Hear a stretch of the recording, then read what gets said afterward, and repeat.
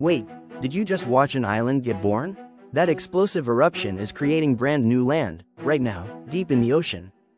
In 2023, Japan got an insane birthday gift, a brand new island formed in just 10 days.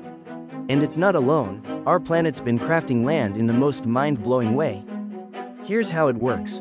Deep beneath the seafloor are molten rock factories called hotspots, reaching 1,200 degrees Celsius.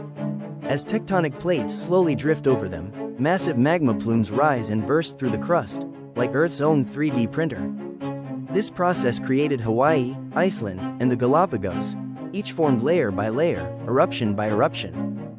Hawaii's volcanic chain stretches over 6,000 kilometers, and most of it is still underwater. As the tectonic plate keeps moving, the old island drifts away from the hotspot, cuts off from magma, and starts to erode.